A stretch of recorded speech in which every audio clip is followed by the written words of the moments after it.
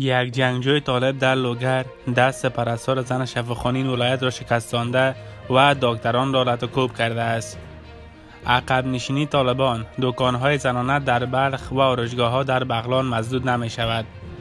انفجار خونین در درب ورودی وزارت خارجه آمار تلفات به گونه سرسام در حال افزایش است.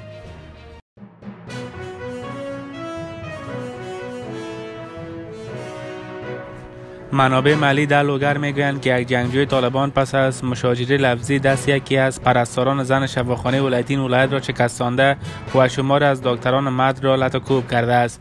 منابع ملی در لوگر می‌گویند که این رویداد پیش از چاشت روز چهارشنبه 21 جدی در شفاخانه ولایتی ولایت در شهر پل علم رخ داده است. با گفته منابع یک جنگجوی طالب به نام زبیولا که با خانم و کودکش به بخش اطفال شفاخانه ولایتی لوگر مراجعه کرده بود با پرستار این بخش وارد مشاجره لفظی شد به گفته منابع مشاجره پس از آن آغاز شد که پرستار به دلیل نبود بستر در بخش اطفال شفاخانه کودک این جنگجوی طالب را می‌خواست در یک اتاق دیگر بستری کند اما با واکنش خانم او روبرو شد. منابع می افزایند که به دنبال آن این جنگجوی طالب دروازه اتاق را با بر روی پرستار به شدت کوبیده و در نتیجه آن دست پرستار را شکستانده است. منابع تصریح می کنند که به دنبال این رویداد این جنگجوی طالب برخی از دکتران مرد این شفاخانه را نیز لطوکوب و توهین کرده است. گفتنی است که پیش از این نیز یک جنگجوی طالب با ورود به بخش نسایی ولادین شفاخانه دکتران زن را لطوکوب کرده بود. عقب نشینی طالبان دکانهای زنانه در بلخ و رشگاه ها در بغلان مزدود نمی شود. در پای نشر خبرها از سوی روزنامه هشت صبح مبنی بر بستن دکانهای زنانه و آرایشگاه ها در بلخ و بغلان توسط طالبان وزارت امر بالمعروف نظم منکر از این تصمیم منصرف شد آکف مهاجر سخنگوی وزارت امر بالمعروف نظم منکر طالبان روز چهارشنبه 21 جدید در صفحه توییترش نوشته است که دکانهای مربوط به فروشندگان زن در بلخ و آرایشگاه های زنانه در بغلان مزدود نمی شود با گفته سخنگوی وزارت امر بالمعروف نظم منکر مکان فعلی دکانهای زنانه در بلخ تغییر داده خواهد شد. اما تا آن زمان این دکانها در مکان فعلی فعالیت خواهد کرد. پیش از این منابع معتبر در بغلان به روزنامه 8 صبح گفته بودند که طالبان آرایشگاه های زنانه را در این ولایت بسته است.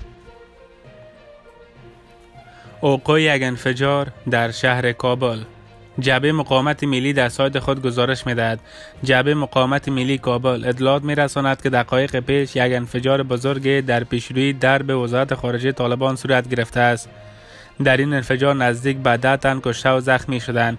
این در حالی است که در یک انفجار دو روز پیش در قندهار چهار طالب کشته شده بود.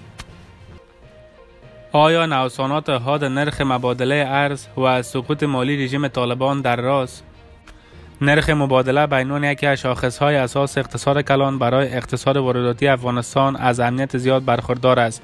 اقتصاد وارداتی افغانستان که در حال حاضر ثبات آن اساسا وابسته به کمک های خارجی و ورود ارز به کشور است در برابر نوسانات منفی نرخ مبادله حساس و می باشد چنان که در دوره جمهوریت با وصف کمک های فراوان بین به افغانستان نوسانات نرخ مبادله همیشه اقتصاد افغانستان را از گذر صد قیمت ها با چالش مواجه می ساخت و فشارها را بر حکومت افزایش می‌داد.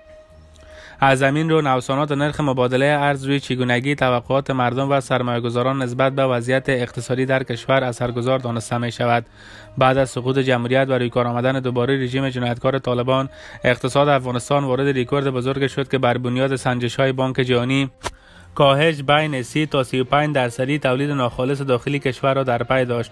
کاهش قابل ملاحظه ارزش افغانی در برابر دلار آمریکایی در بازارهای کشور پس از 15 مگس سال 2021 باعث افزایش سرسام‌آور صد قیمت‌های داخلی، افزایش میزان نادری و زیانهای مالی انگفت بازرگانان شد. این امر در ابتدا بانک مرکزی زیر اداره طالبان را به شدت نگران ساخت تا آنکه با توسل به تفنگ این گروه نرخ مبادله غیر واقعی را در بازارها حاکم کرده و صرافان را ناگزیر به خرید فروش از به نرخ تعیین شده کردند. در پهلوی آن کاهش واردات وارد شدن 1.8 میلیارد دلار از سوی سازمان‌های بین‌المللی و لیلام ذخایر سنگ به پاکستان توسط طالبان باعث شد تا ثبات نسبی در نرخ مبادله حفظ گردد.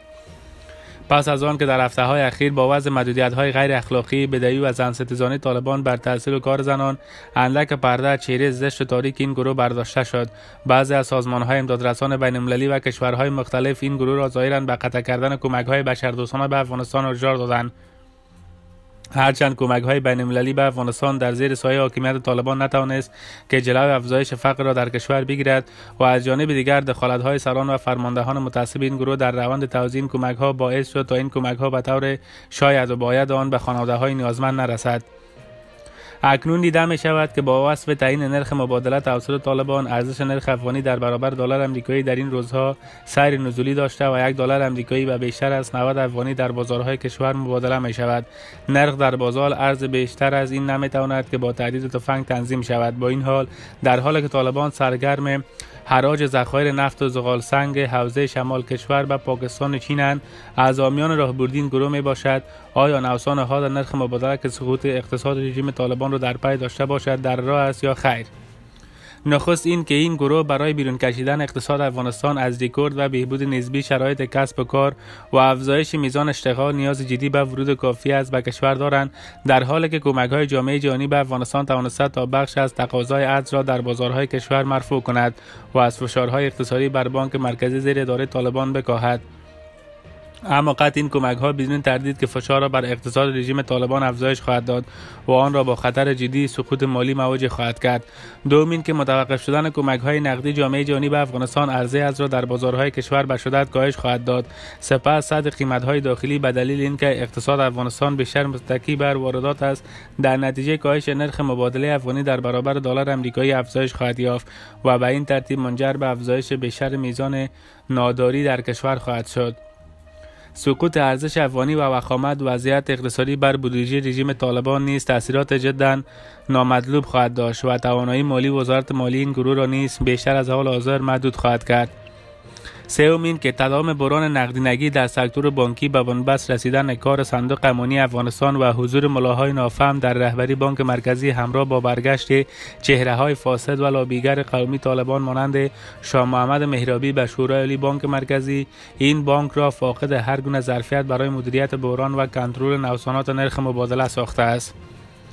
در پهلوی موارد بالا تأجیل نوسانات نرخ مبادله منجر به موج دیگر از نارضایتی های سیاسی از طالبان در داخل افغانستان خواهد شد و همچنان سکتور خصوصی افغانستان را با چالش ها و زیان های بزرگ اقتصادی مواجه خواهد ساخت.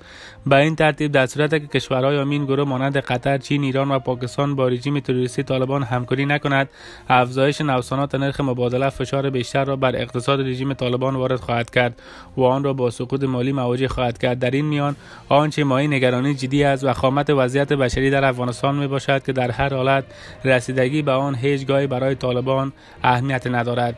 گزارش تحلیل یادداشتی بود از روزنامه 8 صبح کابل. سپاس که تا این دم با ما بودید. برای ویدیوهای بیشتر و تازه ترین خبرها کانال ما را subscribe ویدیوهای را like و با دوستانتان به اشتراک بگذارید. تا ویدیوهای بعد شما را به خداوند یگانه می سپارم شب و روز خوش الله یار مددگار همه شما باشه